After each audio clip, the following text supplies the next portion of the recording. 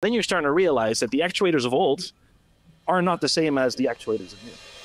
The moment you take a robot outside of a controlled working environment and start putting it into an environment with people, with external factors that you didn't predict for, then all of a sudden you have to design your actuators very, very differently.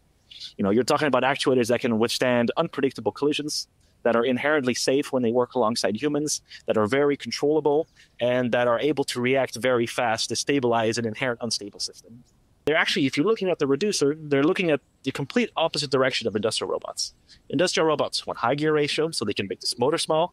Humanoids want low gear ratios, so they can have a low reflected inertia to be able to withstand collision events, and they have a low gear ratio, which allows the output to move faster with an input of the motor to stabilize the system. And all of a sudden, when you have to design for a low gear ratio system, your full actuator looks different. You need a bigger motor. And because you have a bigger motor, the system becomes heavier. But since your system also needs to be inherently safe and you need to control it correctly, you have to add an output encoder to the system.